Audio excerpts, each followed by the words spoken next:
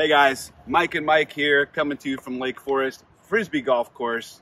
I want to encourage you, encourage you, encourage you to consider getting in the game as a remix guy leader. We would love to have you involved. We got tons of boys that need your influence in their life. You don't have to be a spiritual genius.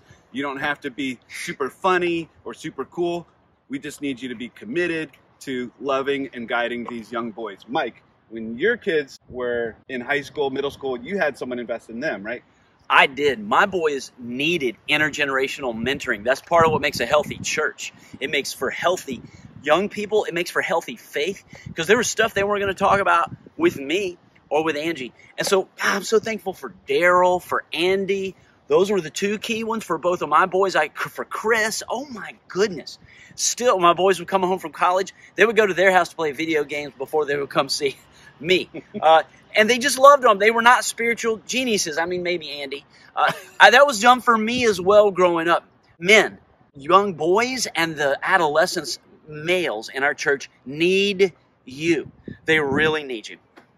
We would love to have you involved. Now, let's see with these discs whether me Bring it or it Mimo on. gets it closer to that pin. You ready? Ready? Three, two, one. See that? See that?